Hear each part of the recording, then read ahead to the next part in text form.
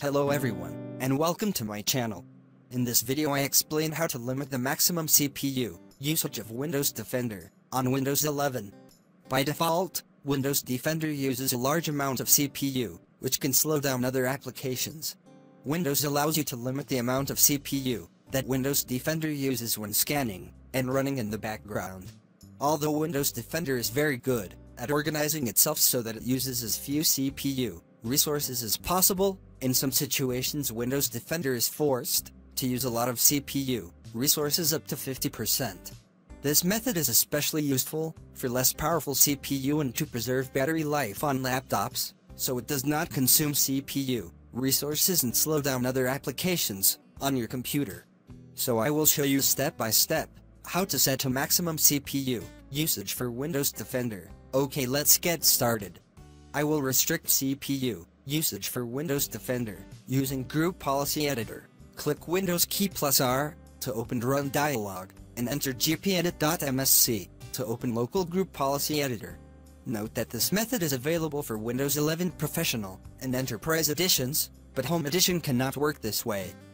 From the Local Group Policy Editor window, expand the folders from the left to open the path that appears in front of you on the screen, and I will leave you the path in the video description.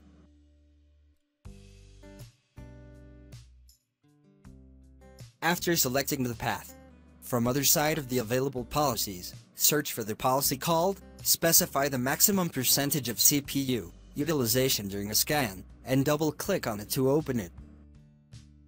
Before enabling this policy, read the description to understand what this policy can do. This policy setting allows you to configure the maximum percentage CPU utilization permitted during a scan. Valid values for this setting are a percentage represented by the integers 5 to 100.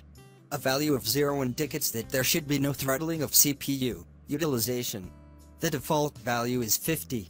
Select the enabled option, and at the bottom enter the percentage, between 10 and 100. Do not enter a percentage less than 10, so as not to disable and throttle the CPU completely for Windows Defender, making it use what it wants. You can enter 25. This percentage is very suitable, and click on the Apply button, and OK. You can now close the group policy. You must restart the computer, and from now on, Windows Defender will limit the CPU usage according to the policy settings you have configured. And in case you want to undo this method, just select Disabled or Not Configured in the Policy Properties window. Thank you for watching. I hope the video is useful to you. I also hope to subscribe to my channel. Thank you all.